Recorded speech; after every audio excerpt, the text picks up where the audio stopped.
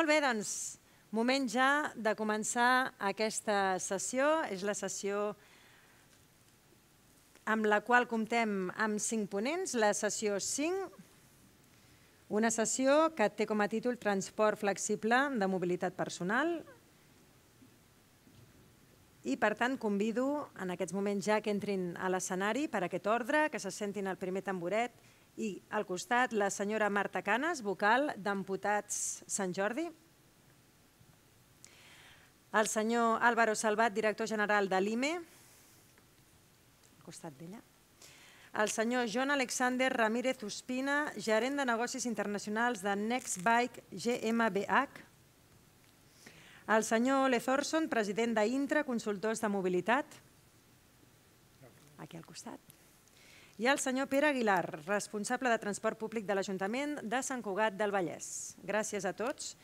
Els recordo, senyor Ramírez i senyor Aguilar, que tenen preguntes dinàmiques eh, a fer abans de començar la seva ponència i vostès preparin també els mòbils. Començarà el torn d'intervencions la senyora Marta Canes, d'Amputat Sant Jordi. Ens parlarà sobre la importància del transport flexible per les persones amb mobilitat reduïda. Endavant.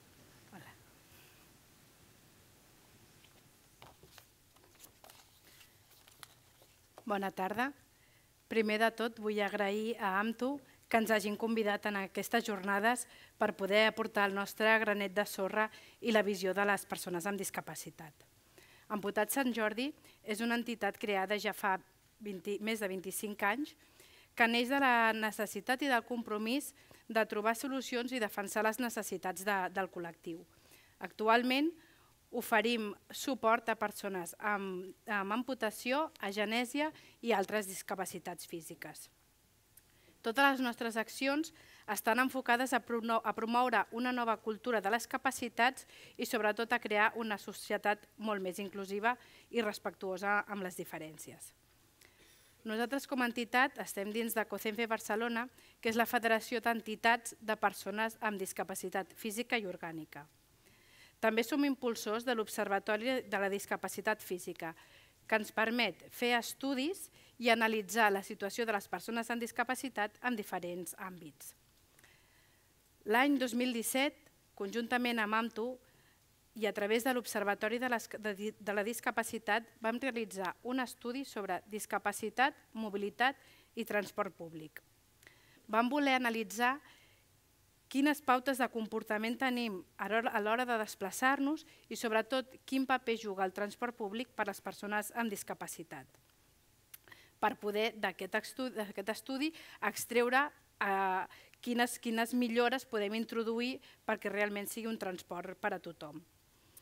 En aquest estudi, primerament, preguntaven en quin àmbit les persones amb discapacitat es troben, troben més difícil la integració a la societat i en primer lloc va sortir la mobilitat. Per tant, ja destaca la importància que té aquest tema.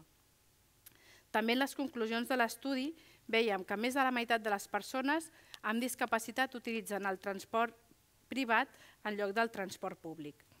Només a Barcelona ens trobàvem un augment de la utilització del transport públic perquè entenem que a Barcelona hi ha possiblement més demanda i el transport privat, eh, sí, el transport privat és més, és més complicat però en la resta del territori les persones amb discapacitat escullen majoritàriament el transport privat perquè creuen que el, que el públic no s'adapta a les seves necessitats i no és prou eficient ni ben adaptat.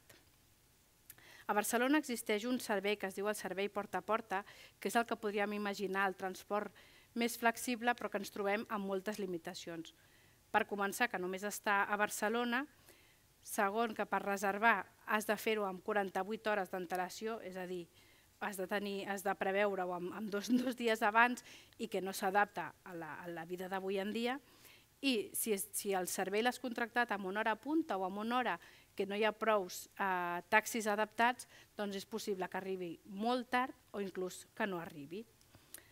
Amb aquest estudi ens queda clar que, el, que necessitem un nou model de transport públic i no només per les persones amb discapacitat, sinó per tota la població, perquè ja sabem que al llarg de la nostra vida ens trobem en diferents fases on tots tenim alguna necessitat especial, com pot ser que ens fem grans, com pot ser que tinguem una lesió eh, temporal o que anem eh, empantant algun, algun cotxet o algun carro. Llavors, eh, el transport accessible no només ens beneficia a les persones amb discapacitat, sinó a totes les persones. Eh, D'aquest estudi que, us comento, eh, jo només he fet aquestes apreciacions, però si voleu consultar tot l'estudi el tenim penjat al web d'observatoridiscapacitat.org. Ho dic perquè hi ha coses bastant interessants de com a vegades tenim un transport adaptat però que les persones amb discapacitat no se'ls senten còmode i adaptat realment a ells per molt que es digui que és un transport adaptat. Per això el plantejament del transport flexible, un, un transport fet a mida, encaixa perfectament amb les nostres demandes. Existeixen infraestructures del transport molt difícils d'adaptar i molt costoses i possiblement moltes no acabaran sent mai del tot accessibles. Nosaltres seguirem insistint perquè tot sigui accessible, però és veritat que, necessitem solucions ja. Uh, I el transport flexible, que ja d'entrada, de, des de l'inici, està pensat en termes d'accessibilitat, doncs realment creiem que és un, un transport pel qual hem d'apostar. També hi ha un punt important que la reserva d'aquest transport, la gestió, es fa des d'una de, des aplicació. Nosaltres en un, en un altre estudi que vam fer amb l'Observatori de la Discapacitat, amb la Fundació Vodafone, parlàvem sobre les TIC i veiem que és una eina molt ben valorada per les persones amb discapacitat, perquè és molt accessible, és molt còmode i el preu també és accessible. Llavors, un transport que es gestiona des de les TIC creiem que és un camí excel·lent per la plena inclusió i per garantir el, els drets de les persones amb discapacitats. Per això, des d'Amputat Sant Jordi, volem seguir treballant en col·laboració amb AMTU i amb altres actors implicats, posant al centre la persona per cobrir les seves necessitats. Moltes gràcies. Molt bé, senyora Canes. Molt bé, gràcies. Ara és el torn del senyor Álvaro Salvat, director general de l'IME. El senyor Salvat ens parlarà sobre els reptes de la micromobilitat. Endavant. Gràcies. Bona tarda a tothom. Eh, bueno, jo volia parlar-vos de micromobilitat i no de patinets, que és el nostre negoci principal. Nosaltres som una empresa que es diu Lime, és una empresa que opera a més de 150 ciutats, hem fet més de 50 milions de viatges arreu del món ja, i tenim una base d'usuaris bastant important, però el que ens preocupa i el que volem parlar avui és sobre la micromobilitat i com podem contribuir a millorar-la. Al final, el nostre objectiu com a, com a empresa com vam néixer amb dos pilars bàsics, que era com descongestionar les ciutats. A dia d'avui, a l'estat espanyol, tenim 40.000 morts, que no són poques, 40.000 morts a l'any per temes de contaminació atmosfèrica, i el que necessitem són vehicles nets. Una altra cosa que és molt important és tenir en compte també com, com estan creixent les, les poblacions a, a les àrees metropolitanes. Ara mateix, més de la meitat de la població viu a ciutats. Això serà fins un 75% d'aquí uns 30 anys. Llavors hem de preparar-nos amb vehicles més eficients. Llavors, com podem fer això? Tenim exemples com a Madrid Central, per exemple, que han fet un esforç molt, molt gran per de retornar d'alguna forma el, que és la ciutat als peatons. Això que sembla ara una, una gran novetat, ja ho era fa 100 anys, les ciutats no eren dels cotxes, eren dels peatons. Llavors, el que, el que hem de contribuir ara mateix, ara tenim un marc molt interessant, que és un, un marc que és restrictiu pel cotxe privat, pel vehicle privat, que, que posant-nos en, en perspectiva, està, el 97% del temps està parat. Un 30% de, de, dels, del temps que, estan en, en, bueno, que, es, que es condueix està eh, buscant aparcament. I després s'utilitza en un 70% de les vegades amb una persona només. Llavors la ineficiència és molt gran. I després, quan tu comptes, quan un vehicle està aparcat, on cap un vehicle, caben 5 motos. On caben 5 motos també caben 9, de 9 a 10 bicicletes. I allà també caben entre 10 i entre 16, 16 patinets. Si fem uns números, amb 10, amb 10 um, places d'aparcament, tu cobriries 12 persones. 12 persones és la mitjana de, de, de gent que aniria en cotxe i si fos en patinet, per exemple, serien uns 150-160 persones. Llavors, una cosa que hem de fer nosaltres, aquests 50 milions que esmentava abans, els hem de compartir. O sigui, nosaltres som una empresa que... Digue'm. Perquè això que li fa una miqueta de, de Vale. soroll. Eh, si no Perfecte. Molt bé. Doncs ara m'escolteu bé, no? Vale. Doncs tenim més de, 150, se- més de 50 milions de viatges i, i amb això el que fem és compartir-ho amb els ajuntaments. Anem als ajuntaments i diem, escolteu, això és un, un mapa de calor i el que tenim són rutes. Aquest és un exemple de Santa Mònica, als Estats Units, però el tenim a, a Madrid, el tenim a Saragossa, el tenim a Pamplona, el tenim a Màlaga, i amb això el que podem fer és contribuir a, a dir, per exemple, una de les coses que fem, 40% dels nostres viatges són de o a estacions de bus o metro. Llavors, si, un, si una ciutat, si un ajuntament ha de pensar en com desenvolupar un transport públic, nosaltres tenim dades que poden aportar i que poden ajudar a fer-ho. Una altra cosa interessant que creiem que és molt important és centrar-nos en, en, en l'usuari i sobretot el no, el no usuari. Tu abans comentaves que, que hi, ha, hi ha gent que, que utilitza Lime i és un producte que, no sé, a Madrid, els primers quatre mesos hi ha, hi ha hagut més de mig milió de- de- d'usuaris, més, més de mig milió de, de viatges, perdona. Però també hi ha gent que no l'utilitza i això hem d'apre- hem d'aprendre. Som una empresa molt jove, portem dos anys treballant i sí que hi ha doncs, usuaris que encara per un tema de- d'educació vial encara no eh, aparquen on, on corresponen, estan aparcant al mig de la vorera i hem de treballar a fer-ho. I, I això nosaltres podem treballar i posar la nostra part comunicant, però també necessitem el recolzament dels ajuntaments. El que fem, per exemple, són, són projectes conjuntament amb Mimo, per exemple, que és una, un programa de gent de la tercera edat, en el que els ensenyem com s'utilitza el patinet i ensenyem també com, com es pot regular, o sigui, per on es pot anar, per, no, per on no es pot anar, i això també fem campanyes internes a, a nivell global. Després, una altra cosa que és molt, molt important, sobretot de cara a la sobrepoblació que, que, que ens ve els, els eh, pròxims anys, és d'alguna forma optimitzar el transport. És a dir, abans sortia aquí un, una, una campanya al, al, al mig temps de, de com s'optimitza el, el transport i crec que és molt important. O sigui, si, si veiem com, com hi ha, això són 200 persones en diferents medis de transport, el, el que hi hagi un autobús o hi hagi un metro o hi hagi una bici eh, no és tan important com que aquestes bicis, aquests autobusos estiguin plens. O sigui, el que necessitem és plena ocupació. No? Llavors, si hi ha un autobús de 60 places, mentre hi hagi 60 persones o 50 i pico, està bé. Si hi ha dos, és ineficient. I aquí, si podeu passar el vídeo, és, és el tema de ser oberts al canvi. El tema del patinet no és una cosa tan, tan, tan nova, i ara us ensenyaré algun, algun exemple. Això està en anglès. Because they're missiles. They cause they cause nothing but problems. Those things do.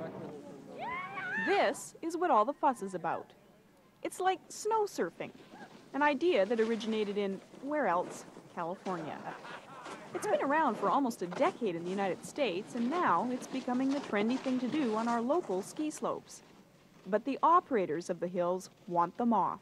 Uh, the skiers, we try and keep them separated, but the snowboards come down the slopes, and they'll go right in between the skiers, and we'll kick them off, and they'll just lip us off. And they're dangerous because if one of these uh, skateboards or ski boards, whatever they're called, hit a person, they'd break their leg because they're just like a missile. And most of them have no brakes on them. So uh, nobody is allowing them on any of the mountains around. But where there's a will, there's always a way.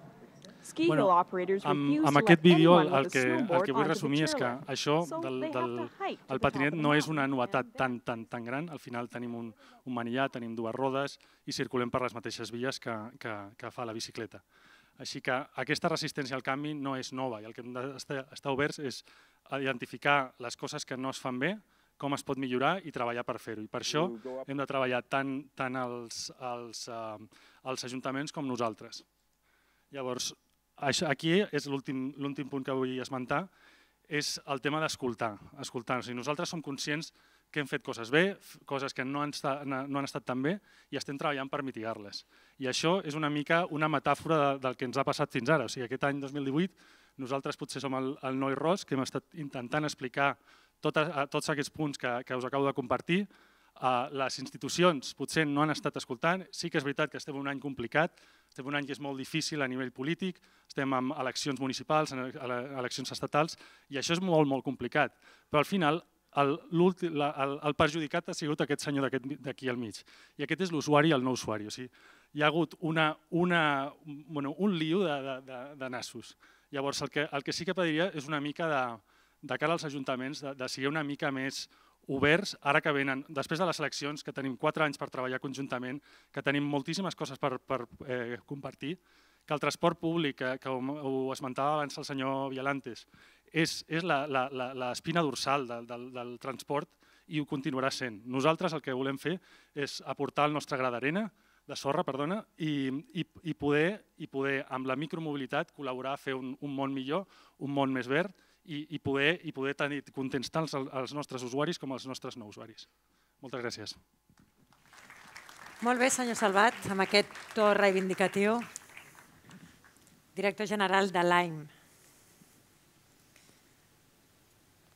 Continuem amb la intervenció del senyor John Alexander Ramírez Ospina, gerent de negocis internacionals de Next Bike GmbH, que ens parlarà de la bicicleta pública en la mobilitat sostenible. Recuerde, senyor Ramírez, que tiene también una pregunta dinàmica que hauran de respondre accedint al Telegram, a informació, preguntes dinàmiques, i serà la pregunta número 5. Ok, vale.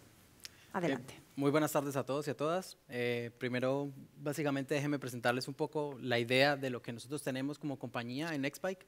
Es una empresa que relativamente en el mundo de la micromovilidad lleva mucho tiempo. Eh, iniciamos hace alrededor de 14 años trabajando en Alemania en una idea un poco del sistema Dockless. Empezamos con una idea, empezamos a trabajar en conjunto y desarrollamos un modelo de negocios que es sostenible que significa que desde hace 14 años llevamos cooperando con diferentes tipos de ciudades en lo que hemos creado un modelo de negocio sostenible. Actualmente estamos en 200 ciudades, estamos en 26 países y la idea es seguir expandiéndonos y creando con las ciudades y con los actores locales ese tipo de partnerships o ese tipo de alianzas que crean sistemas de movilidad sostenibles y a largo alcance. Vamos a hablar generalmente de tres puntos específicos y vamos a hablar, eh, el tema de la micromovilidad es muy importante, pero también hay que ver desde el punto administrativo cómo nos vamos a acercar a él. Eh, vamos a hablar primero de la micromovilidad y qué pasa en, la, en el sistema de urbano sostenible, de la movilidad. Entonces, hemos, hemos visto que, y todo el mundo ha hablado de las diferentes opciones que tiene la gente de movilidad. Estamos hablando del Uber, estamos hablando del taxi, estamos hablando car sharing, scooter sharing, transporte público. Estamos viendo que hay muchas diferentes variables que los usuarios tienen y cómo las personas deciden si, si toman el coche privado el coche público o toman la bici pública o el transporte público. Como una empresa de transporte público nos consideramos nosotros, Nextbike. Hemos trabajado en conjunto con diferentes operadores de transporte público para hacer la bicicleta una garantía del last mile. Entonces nos hemos vuelto junto con las empresas de transporte público una solución a la movilidad de, de última milla y, por ejemplo, hemos identificado que las bicis en el, a largo plazo ofrecen la mejor relación beneficio-costo para los usuarios, sean bicis, mecánicas o bicis eléctricas. Entonces estamos viendo inicialmente que es un sistema muy rápido, es muy eficiente, después es mucho más económico de operar y a manera de usuario de pagar, digamos, el servicio de un sistema de bici pública, es amigable con el medio ambiente, no solo en, en, en que no emite CO2, sino en la manera en que se opera y cómo lo gestionamos promueve un estilo de vida saludable y aquí entramos a un tema muy interesante que es la movilidad activa, en donde promovemos también que las personas se muevan y tengamos ciudades un poco más saludables y lo más importante, permite ser el brazo conector del transporte público. Y eso es lo que vemos nosotros y por allí hemos trabajado. Entonces, nuestra teoría y lo que hemos probado ya en Alemania, porque tenemos sistemas en Alemania que están integrados totalmente en el transporte público, en donde el sistema de bici pública hace parte del transporte público. Entonces, las personas una vez tengan su tiquete de, transporte público, su abono, están directamente integradas a la oferta, digamos, de movilidad de las bicis. Entonces, se vuelve efectivamente la última solución de la, de la última milla. Entonces, ¿qué hace esto? Aumenta la conveniencia y hace que el transporte público se vuelva más atractivo para las ciudades. Entonces, vamos todos con la misma historia. Transporte público tiene que ser la espina dorsal de la movilidad y una vez tengas servicios de micromovilidad que son más flexibles que el transporte público, porque el transporte público no puede llegar a todos lados, pero una vez tengas vehículos que lo puedan hacer a través de esto, digamos, permites generar ese beneficio. Eh, aquí hablamos un poco y creo que viene mi pregunta, la bicicleta como parte de, de transporte público. Entonces, mi pregunta es la siguiente y es algo que todas las empresas un poco de micromovilidad intentan y quieren, y desde el punto de vista de Nextpy para nosotros es muy importante saber la opinión de las administraciones y cuál sería en, este, en esta idea el papel que deben tomar las, las administraciones o las empresas de transporte público con respecto a la micromovilidad. Entonces hemos visto que hay, hay ciudades en donde simplemente lo están negando y están no, no micromovilidad. Eh, hay unas que toman un poco un papel más pasivo y dejan que el liderazgo lo tomen empresas privadas. Hay otras que están tomando un, un rol más activo y cooperan con las empresas privadas y hay unas que están aún mucho más yendo mucho más allá y siendo proactivas y diciendo, pues integremos estos vehículos en el transporte público y que sea una oferta integrada completamente. Entonces, ahí les dejo las preguntas y vamos a ver qué opina un poco nuestro público acerca de este tema. A dar un minutito, un minutito para que pueda la gente votar. La pregunta 5 de las preguntas dinámicas. ¿Tú cuál crees? Bueno, espero que sea la C, ¿no? ya veremos. ¿Y si no es la C, qué? Bueno, hay que trabajar por ello. Muy bien. Lo tienes claro, ¿eh? Claro. A ver si lo tienen claro también. Ellos y ellas. ¿Ya han votat? Sí. La pregunta 5, formularis, no, informació. Informació, preguntes dinàmiques. Pregunta número 5. ¿Cuál es el papel que deben tomar las administraciones respecto a la micromovilidad? A, pasivo, dejando liderazgo al sector privado. B, activo, cooperando con empresas del sector privado y actualizando regulaciones frecuentemente. C, proactivo, tomando liderazgo y considerando la micromovilidad como parte fundamental del transporte público. Tic-tac, tic-tac. Tic-tac, tic-tac.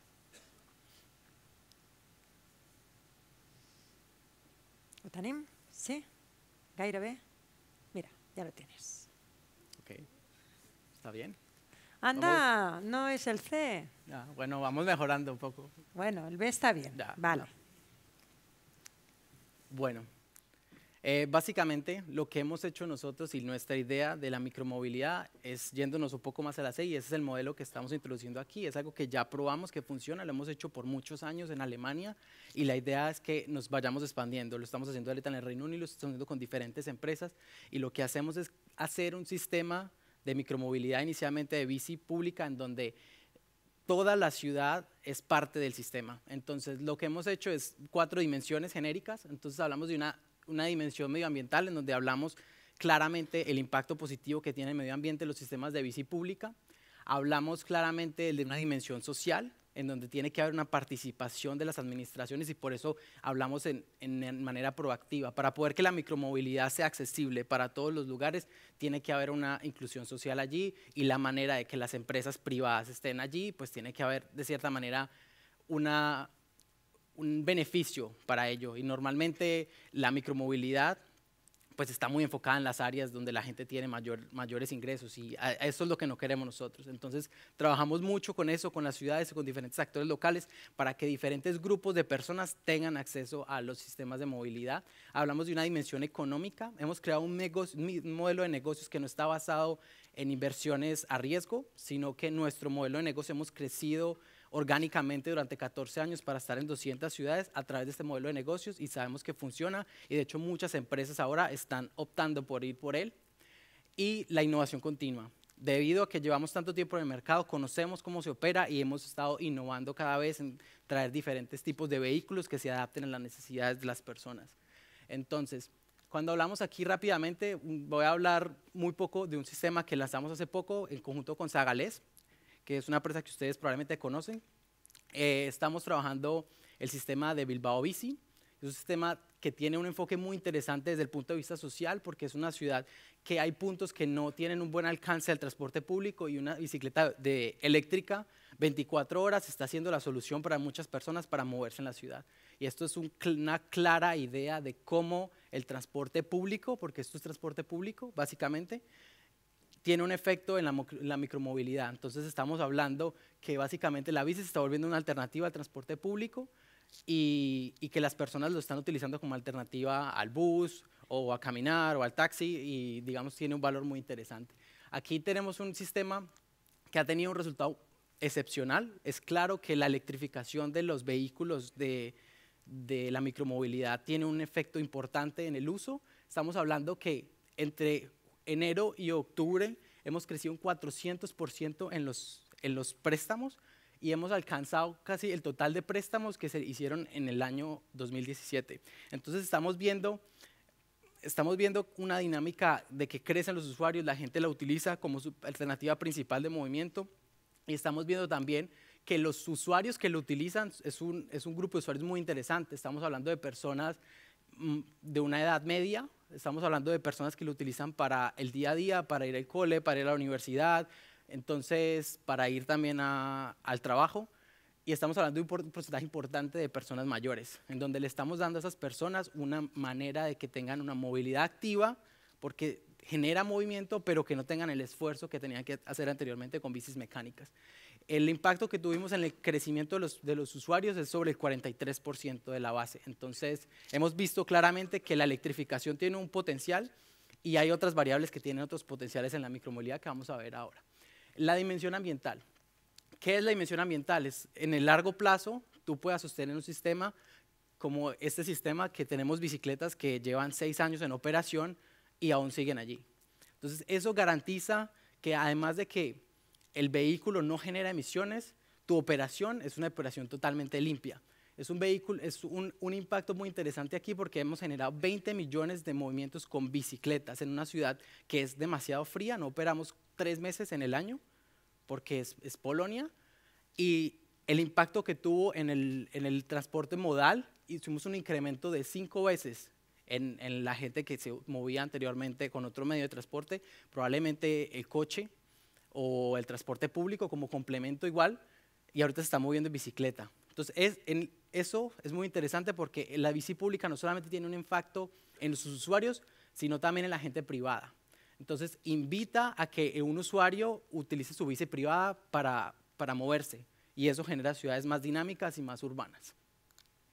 Bueno, hablamos de Leipzig. Leipzig es una ciudad muy interesante porque fue donde empezamos. Empezamos con una bici totalmente desarrollada por nosotros, un ejercicio un poco a baja escala. Y a medida que fuimos creciendo, tenemos un sistema bastante interesante. Ahorita les voy a mostrar unas cifras. Es un sistema que es totalmente integrado con la, con la empresa de transporte público. Y lo más interesante es que este este sistema, por ejemplo, es económicamente viable. ¿Por qué? Porque nosotros hemos trabajado con las diferentes empresas locales, cooperando con patrocinadores, cooperando con diferentes actores para hacer de que a largo plazo tú puedas tener un sistema de bici pública que cada vez vaya avanzando. Eh, nuestro modelo de negocio favorito es este, es lo que tenemos en Berlín.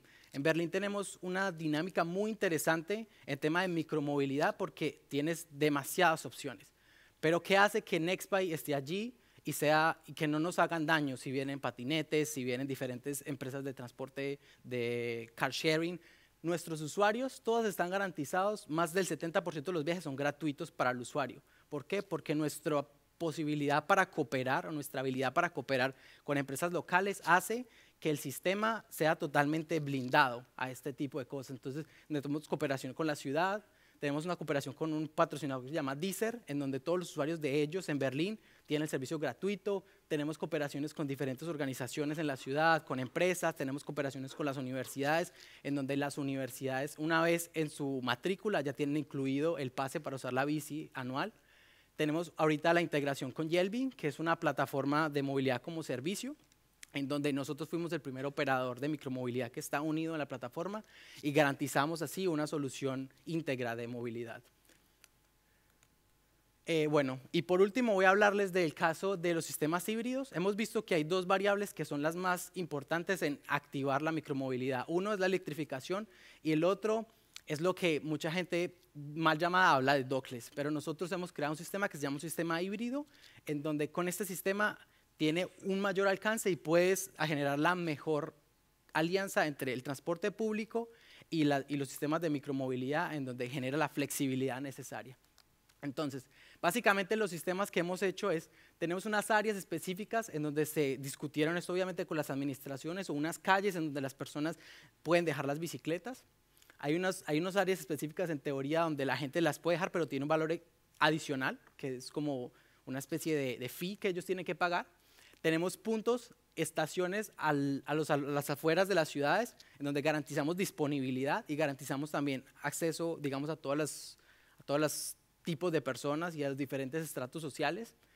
Y básicamente electrificamos ciertos puntos de la ciudad. Entonces, al tener este tipo de sistema, este sistema se vuelve totalmente interesante para hacer el complemento de transporte público. Y hemos visto los resultados en que la gente empieza a comportarse de la misma manera en que se designó las áreas. Entonces, hacia aquí va todo, inicialmente por dos puntos. Primero, porque das organización, no simplemente tienes las bicicletas o los patinetes o lo que sea en las calles, sino que los tienes bien distribuidos en la ciudad como, como las administraciones lo quieren y permite, digamos, esas conexiones específicas con el transporte público.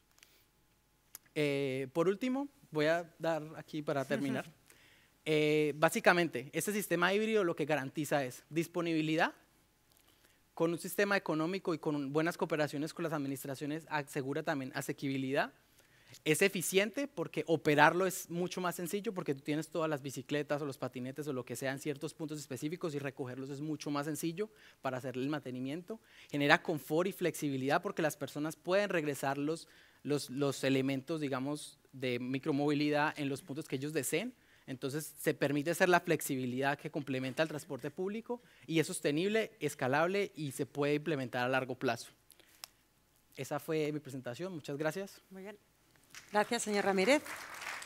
Puede tomar asiento. Ara sentirem el senyor Lez Orson, membre de la Junta de Catalunya Camina, que ens parlarà de la convivència entre els vianants i els vehicles de mobilitat personal. Quan vulgui. Moltes gràcies. A veure com funciona el, el Next. Vale, D'acord, molt bé. Eh, bona tarda. Eh, un par de, de comentarios para iniciar. Uno a, a John. Eh, en aquest esquema de precio y valoración que tenías de cada uno de los diferentes modos de micromovilidad, on estava el vianant? Que és la majoritària en les, en, en, en les societats. I forma part, evidentment, de la micromobilitat. I al mateix, mateix temps, Álvaro, eh, digamos, eh, eh, en 100 metres o 10 metres quadrats, que és una plaça d'aparcament, Calvin, eh, almenys 40 o 50 vianants. Poso-lo també com una, una comparació. Jo crec que si no incluïm els vianants, entonces ya no lograremos a, eh, tener un, eh, digamos una movilidad suficientemente sostenible. Hi ha molts tipus de vehicles de mobilitat personal. Eh, el primer que he vist i provat jo era un Segway en el 2003 en, en Portland eh, i els eh, vehicles de mobilitat personal i ciclistes necessiten una adaptació de la velocidad urbana general a 30 km per hora. Si no, no hi ha evolució, eh, crec jo, eh, possible. Eh, quan jo començava, diguem ja de petit, en, en Copenhague, de la meva autonomia, doncs hi havia bicicletes, algo de patins en, en línia i clarament eh, els peus. Eh, el patins en línia era més per a jugar al, al, al carrer, eh? al carrer, dic, perquè els cotxes anaven amb, amb poca, poca velocitat eh, llavors. No? Eh, I eh, tenim que tenir molt clar que l'autonomia del ser humà està en, bàsicament, els peus i també eh, en la bicicleta. La situació no ha canviat, eh, canviat molt. Hi ha molts diversos tipus de vehicles de mobilitat eh, personal, però continuen sent un cert eh, tipus de eh, un fet eh, curiós i crec que així continuarà durant molts anys, perquè hi ha molts altres eh, demandes per utilització dels, eh, eh, de les eh, carrers de la ciutat. Una cosa que està, està, està molt clar, que eh, parlem molt, molt de ciclistes als, als últims anys, però el número de gent que se transporta diàriament en bicicleta, almenys aquí al nostre voltant, a pesar de lo que se dedica a nivell esportiu, de tours, de voltes, de uh, giros, etc., més o menys segueix eh, en una cosa eh, molt petita. Eh, una de les coses que se diu, alguns ja ho heu vist així perquè circula molt aquesta foto del, eh, del 1906, eh, 16, eh, i que ja existia aquest, eh, aquestes coses, un curiosum, podem dir-lo, i verdaderament eh, així en part ha quedat. Ara hi ha un, un pico, ja tenim que veure eh, com quedarà. Eh, hi ha que pensar en aquesta cosa, que en la seguretat viària el que causa les sinestres és principalment el conductor de cotxe i en part de moto. En general es pot dir que quan els conductors dels vehicles eh, a motor més grans deixen de matar o ferir els conciutadans, ens preocuparem d'aquests. Necessitem que hi ha un canvi bàsic a la societat, als ciutats, als carrers, per a poder fer aquest canvi. Una cosa que està, eh, està molt clar és que tots aquests diferents eh, tipus de vehicles que poden estar al carrer o als carrils, evidentment dona una pressió especial també eh, i per això estem aquí de parlar també d'autobusos, als conductors d'autobusos. Tenen que tenir més clar el seu espai. Eh, I eh, això també va juntament que hi ha que tenir clarament l'espai eh, definit bé dels, eh, dels vianants. La solució no és per a millorar la cosa dels conductors d'autobusos que els eh, vehicles de mobilitat personal passen a les voreres o se queden ahí. Tenim que treure'ls d'aquest espai. Um, I ha que pensar que els vianants en les ciutats mediterranis fan entre un 70-80% del total de la mobilitat.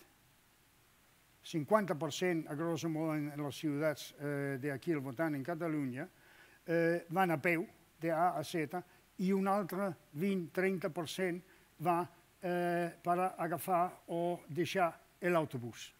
Així que, i això camina també molt. Això necessita un tractament molt prioritari. Eh, però també hi ha que pensar que eh, el vianant necessita, que no ho té en aquest moment, un tracte de prioritat en els passos de vianants. I per això una de les coses que els vianants reclamen és eh, que el pas de vianant té que formar part integral de la vorera i no com una part de la calçada. Um, les, eh, les qüestions que eh, una part dels eh, vehicles de mobilitat personal evidentment poden quedar en les voreres, però tenen que adaptar la seva velocitat al eh, de los eh, vianants. I podem discutir si, com en alguns, en alguns llocs parlen de eh, 20, 20, 25 o de 10 km per hora per a aquests eh, vehicles que té que eh, anar amb els vianants.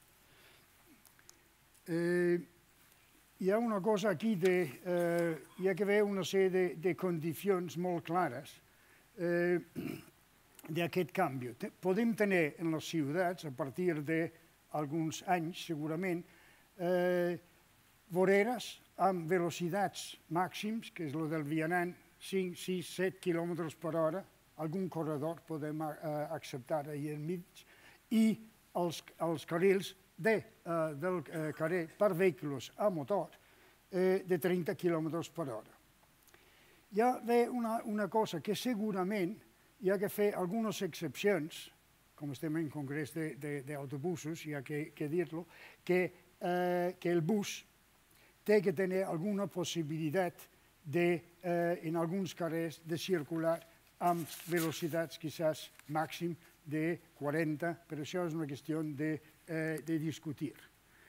Si passem de los 50 quilòmetres eh, que tenim en ciutat com màxim ara eh, baixem a, eh, a 30 km per hora. Queda alguns carrers bàsics de la ciutat a 50. Solament els conductors és per treure arguments dels conductors aquí. No? Solament perden els dos petits quadrats ahí que són eh, de verd. Eh, segurament diuen que perden en mas, però eh, jo crec que tenim que pensar que és eh, relativament poc van perdre. Eh, està molt clar que l'autobús urbà té una necessitat de circular prop del voral, on estan les parades i també diguem, on tenen la porta. I, per tant, tenim que reservar la, la part eh, dreta eh, del, eh, dels carrils o dels carrers per a l'autobús. Què vol dir això? Això vol dir que el, car el carril que pot haver de l'esquerra de del carrer té que estar més dedicat als vehicles de mobilitat personal. Això són coses que tenim que, que pensar, que la circulació, l'ús dels carrers, té que ser totalment diferent, en part, de lo que estem eh, acostumats a fer ara. Hi ha que discutir això, però pel moment no està del tot, eh, diguem ja, eh, en boca. Ja tenim aquests aparells i per tant ja tenen que circular i ja està. Però hi ha que adaptar tota la, tota la ciutat en aquest, sen, eh, aquest sentit. Eh, I eh, jo crec que, que diguem, tenim que, que pensar amb els molts accidents i sinistres i ferits que hi ha, que eh, la societat ha tolerat massa anys un comportament injust i agressiu dels conductors del eh, vehicle eh, privat. Ara ja està, està a prop, no? De... no, ja, ja pregunto aquí. Bueno, eh, una de les coses que, eh, que passa aquí en, eh, en Espanya, mm, en Catalunya també, és que som un país de, de regles i ordenances.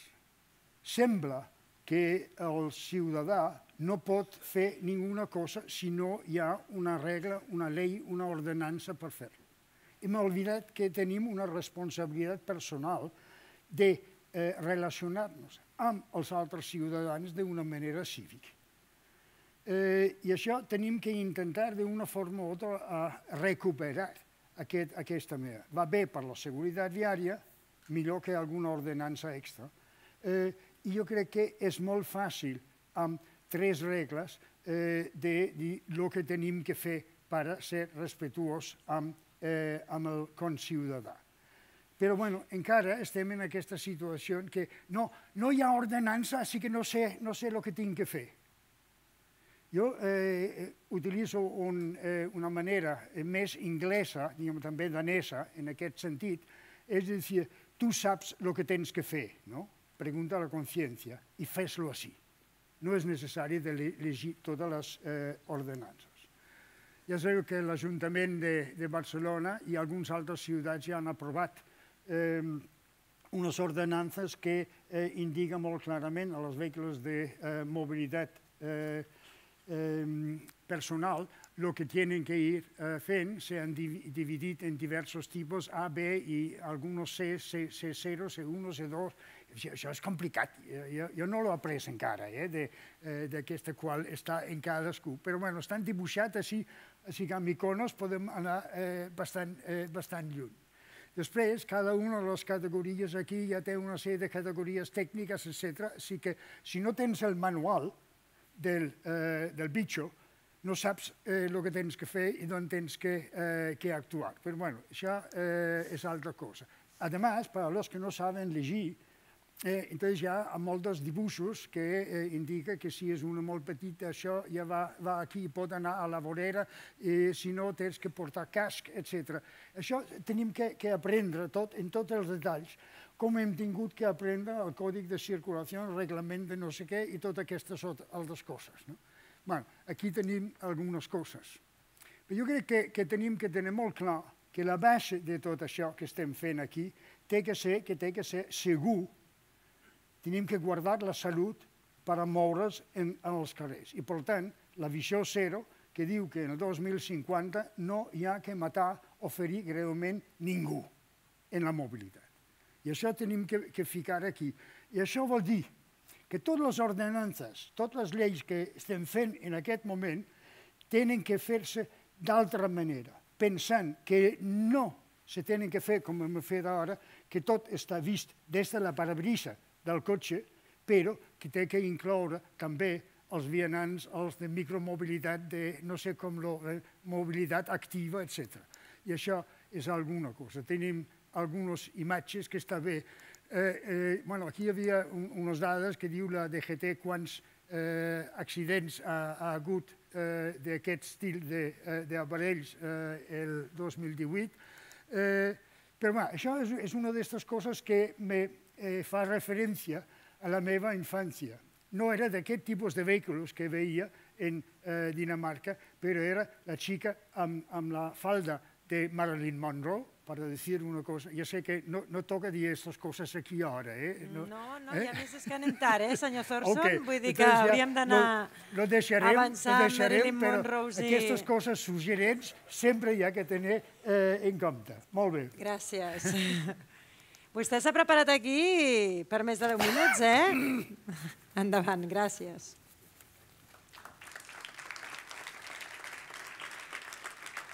I per acabar sentirem el senyor Pere Aguilar, cap de secció de transport públic de l'Ajuntament de Sant Cugat del Vallès. El senyor Aguilar ens parlarà de com l'Ajuntament ha iniciat a través d'un decret el procediment per regular els vehicles de mobilitat personal, en concret els patinets elèctrics, davant la seva creixent presència al carrer.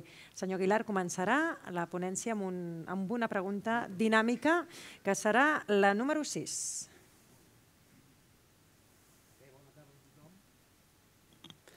En primer lloc, agrair bueno, doncs a l'AMTU l'oportunitat de que l'Ajuntament pugui estar també fer una ponència aquí.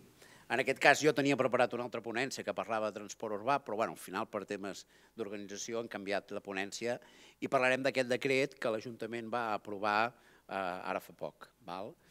En primer lloc, bueno, començarem per una pregunta eh, que jo us diria, a veure, en un futur molt proper, creus que el transport públic farà un canvi cap a serveis autònoms, serveis a demanda, autònoms i a demanda, o continuarà com fins ara? Podeu votar.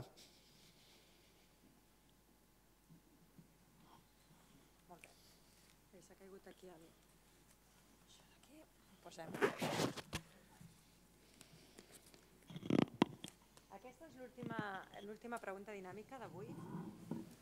La pregunta número 6. Poden votar. Recordin informació, preguntes dinàmiques i les 6. En un futur molt proper, creus que el transport públic farà un canvi cap a A, serveis autònoms, B, serveis a demanda, C, autònoms i a demanda i D, continuarà com fins ara. Senyor Aguilar, vostè què creu? Home, jo crec que farem un canvi cap a vehicles autònoms i a demanda. això Està clar. Cap a la C. Eh? Veurem què opina el públic. Ja han votat? A veure si coincidim.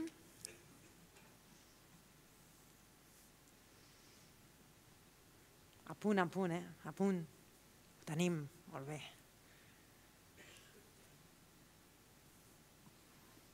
Senyor Aguilar, aquí té els resultats. Un 37 com fins ara. Serveis a demanda un 16 i autònoms a demanda un 45. Mm. Molt bé. Encertat? I tant. Endavant. Molt bé. Bé, bueno, portem tot el matí. No sé si se'm sent. Se'm sent? Que no se'l sent gaire o...? No sé si aquest funciona. Bé. Uh, tot el matí bueno, que s'està parlant molt de, de transport a demanda i de tots aquests canvis tecnològics que estan influint amb tota la mobilitat a les ciutats. Bé, uh, jo el que us volia fer és primer una reflexió de...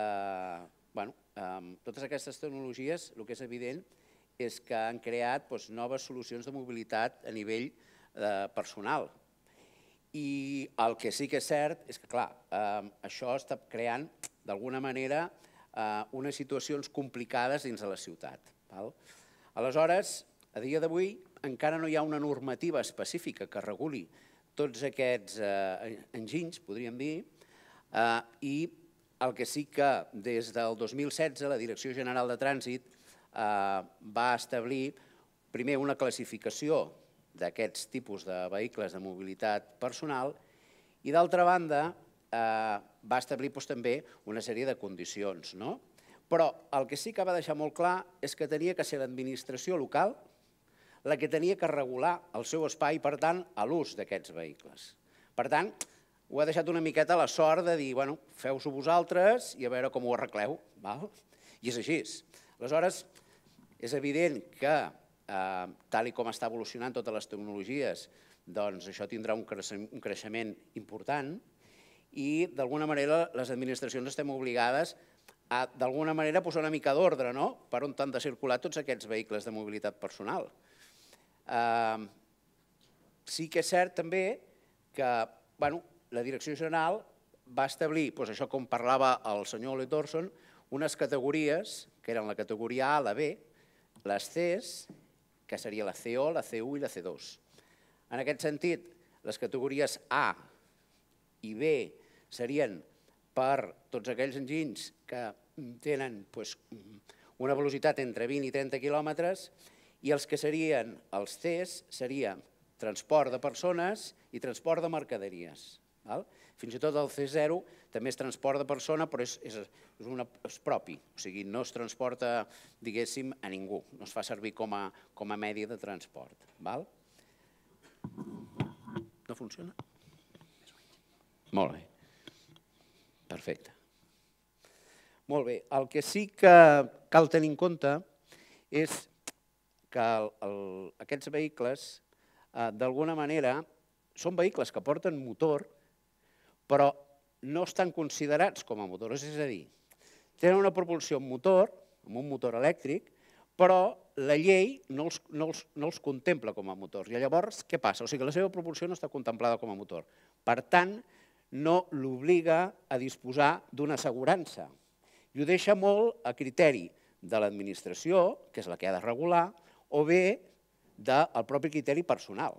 Si tu tens un Segway o tens una plataforma, tu pots pensar, o una bicicleta, és d'aquestes, un patinet, tu pots dir, escolta, jo entrego una assegurança per si mai passa res. Però desgràciadament això, jo crec que gairebé el 90 i pico per cent ningú té una assegurança d'aquest tipus. Val? Bé, aleshores, important, doncs, bueno, les, les, o sigui, les, les administracions d'alguna manera hem de procurar doncs, reglar d'una miqueta tot això i marcar unes pautes. El senyor Ole Torson deia, clar, diu, sempre estem amb ordenances i amb lleis, és veritat, és així, per què? Perquè jo crec que també s'ha de, la cultura s'ha de formar des de baix, o sigui, des de les escoles. No? Segurament els nostres fills, vull dir, tot el tema de tecnologia, doncs, bueno, per ells això ja han nascut amb ella, nosaltres no. Però sí que és cert que ells ho assimilaran molt millor que nosaltres. I això, però s'ha de treballar, s'ha de treballar i molt. Aleshores, avui en dia, doncs, bueno, hem de procurar fer unes lleis o unes ordenances per anar regulant tot això i perquè és evident que en una ciutat eh, és molt complicat tot el tema de la mobilitat. Molt bé. Bueno, dit això, que era com el preàmbul de, de, de lo que seria la ponència, eh, jo el que sí començaria doncs, és amb això que us deia de la classificació. No? La classificació d'aquests vehicles, nosaltres, en l'Ajuntament, què vam fer? Vam, d'alguna manera, no vam contemplar el que serien els de la categoria C. O sigui, el que ens vam centrar va ser amb els As i els Bs. Val? I en aquest sentit, en aquest sentit, s'hauria d'emmarcar on han de, on han de circular aquests, aquests, aquests enginys. Val? És evident que poden circular per carrer, per calçada, poden circular per vorera, poden circular per un carril bici que tens senyalitzat, val? o poden circular lliurement i no hi ha carril. Aleshores, d'alguna manera, tu això ho has d'arreglar, ho has d'instrumentar i dir, escolteu, anem a veure. D'entrada, tots els vehicles, i us passo, començo a passar alguna projecció, val? tots els vehicles, o sigui, amb una calçada que no arribin als 30 km per hora, aquests no poden, no poden circular, perquè entrarien en un conflicte amb el, amb el vehicle privat o, o i amb les altres modes de transport. Val? Per tant, aquí ja tenim un límit. No? Aleshores, entrarem en dir una classificació entre dels, dels models A i B, que llavors diries, bueno, escolta, però si tens un carril bici, per què no poden circular? Molt bé, si tu tens un carril bici que està totalment eh, definit, senyalitzat i balitzat, tu pots dir, bueno, doncs aquí poden circular tots els vehicles del model A i B, però sempre i quan, o sigui, els Bs, per suposat, però els Bs, els As, perdó, haurien d'arribar a superar els 15 km per hora. Val? I, d'altra banda, una altra de les coses que nosaltres també vam, d'alguna manera, continuar amb el que l'Ajuntament de Barcelona i, i la Direcció General de Trànsit establia, era l'edat, 16 anys. Val? Eh, 16 anys i o sigui, el fet de portar un casc, això més aviat bueno, és, eh, jo us diria, no és una obligació, val? però és una recomanació que es dius, bueno, escolta, doncs potser sí que cal considerar que aquests vehicles que ja agafen una certa velocitat doncs que es basi en un casc. No? Igual que les bicicletes, les bicicletes passa tres quarts del mateix. Molt bé, aleshores estaríem amb, bueno, amb uns vehicles que han de superar la velocitat de 15 km per hora per, per circular exclusivament per aquests carrils bici. D'altra banda, vam dir, bueno, autoritzarem a classificar dins dels grups A i B els carrers de conveniència. Quins són aquests carrers? Els carrers de conveniència són els carrers de plataforma única. Val? Aleshores, s'ha d'establir un màxim de velocitat. Quin? 20 km per hora. Molt bé. Però amb una amplada lliure de 3 metres respecte a la façana i, evidentment, hi ha d'haver una, una distància lliure d'un metre i mig respecte als vianants. O sigui, vianants i façanes, perdó, un metre i mig, i les amplades lliures de 3 metres. Han d'estar lliures de qualsevol eh, caseta, terrassa, quiosc, etc etc. Val? Això sí, el vianant sempre tindrà preferència de pas. Això és sagrat. Val? Per tant, ens trobem en una, altra, en una altra situació que el conductor ha de tenir 16 anys, que es recomana l'ús del casc, un casc homologat, val? no pot anar amb la gorra, amb visera, o sigui, recomana que sigui un casc amb seguretat, i per tant, doncs, bueno, ja tindríem un altre tipus d'espai de, de, dins de la ciutat per poder circular. Val? Després ja vam entrar amb el que seria els jardins, les zones verdes, eh, espais no motoritzats, voreres, parcs, i aleshores aquí es va establir que la velocitat màxima no podria superar els 10 km per hora, que l'edat mínima tenia que ser de 12 anys i, eh, el, o sigui, en el cas de que fos un menor, tenia que anar acompanyat d'un adult, però que sigui responsable. Eh? I quan dic responsable, vull dir que ha de tenir, d'alguna manera, la cultura de saber per on està circulant. No? Dir, això és importantíssim. D'altra banda, després ja entraríem bueno, doncs amb el caràcter general, tot el que són voreres, val? que no disposen d'aquest carril bici, val? i on vam establir que la velocitat màxima seria de 5 km per hora, edat mínima 12 anys, menors també acompanyats d'una persona adulta, val? Eh, bueno, i que aquí sí que, en aquest cas, bueno, doncs també eh, poden circular tant els As com els Bs. Val? Però arribem després, qui és la persona que ha de, d'alguna manera, eh, garantir el compliment d'aquesta ordenança? Doncs ha de ser, li hem de donar l'autoritat a la policia local, això és evident. Val? I la policia local, en aquest cas, eh, té la facultat de poder suspendre, o sigui, la circulació en casos de que hi hagi doncs, una aglomeració de gent, persones, vehicles, etc. Val? Per altra banda, eh, hi ha un altre, un altre condicionant que es va dir, si per exemple hi ha una aglomeració de gent, si no es pot mantindre una distància d'un metre i mig, doncs aleshores no es pot circular. Per últim, podríem dir, establir en caràcter general que els conductors eh, han de tenir un domini d'aquests aparells, perquè si no malament, malament rai. No? I han de tenir una capacitat de control i en tot moment han de preservar la seguretat, la pròpia i la de tercers. Val?